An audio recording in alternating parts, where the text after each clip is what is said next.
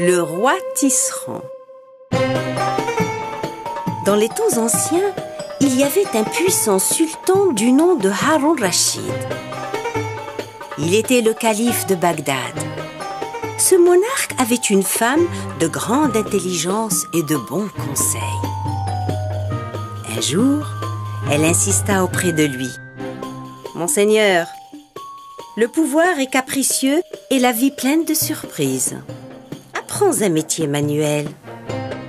Les mains, on les emporte toujours avec soi. Un jour ou l'autre, l'apprentissage d'un métier révélera son utilité.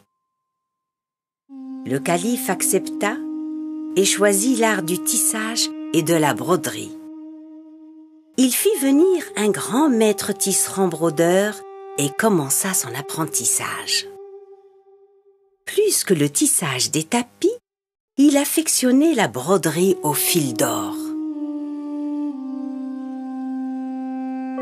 Durant sept longues années, il partagea son temps entre ses responsabilités et sa nouvelle passion pour la broderie fine.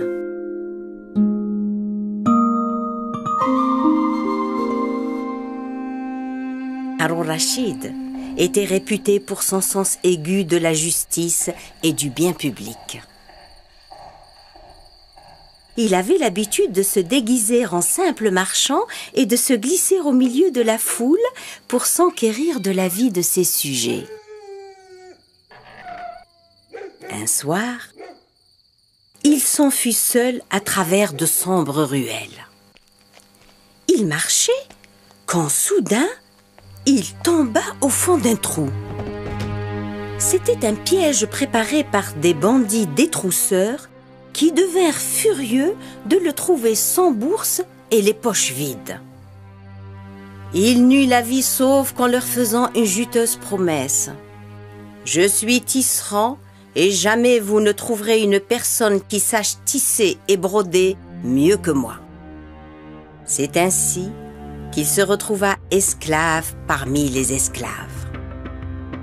De l'aube au crépuscule, il tissait des tapis et exécutait de magnifiques broderies que le maître revendait à prix d'or.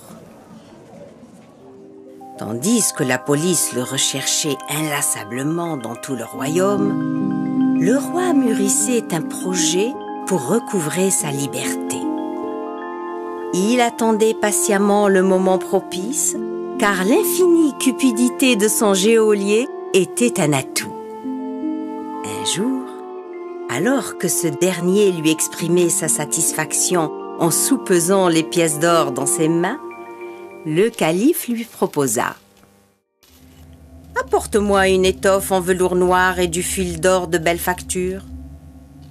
Je te façonnerai une somptueuse broderie, jamais vue de mémoire de commerçant. L'épouse du calife t'en donnera une fortune. Aussitôt, on fit remettre à l'esclave le tissu et une bobine de fil d'or. Il ne fallait pas perdre un instant. Le roi tisserand, maître de son art, tissa à l'aiguille une broderie en relief représentant un oiseau posé sur un délicat épi de blé.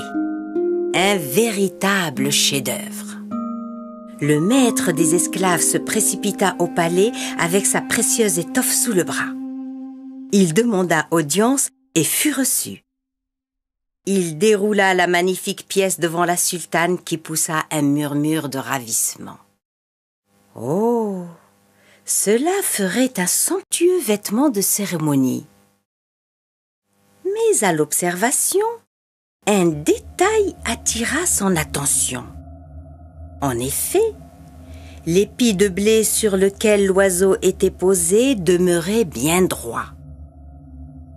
Or, le poids de l'oiseau aurait dû le faire pencher. Intriguée, elle regarda de plus près. Elle sentit soudain son cœur bondir dans sa poitrine. Elle venait de reconnaître la dextérité de l'aiguille de son mari. Ne laissant rien paraître de son émotion, elle poursuivit attentivement l'observation des motifs. Méthodiquement. Jusqu'à y déceler le message secret calligraphié qu'elle avait pressenti. Le roi indiquait l'endroit précis où il était détenu.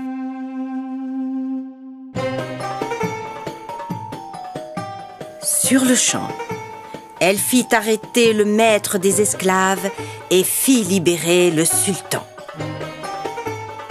C'est depuis cette époque que l'on dit l'apprentissage d'un métier révélera toujours, un jour ou l'autre, son utilité.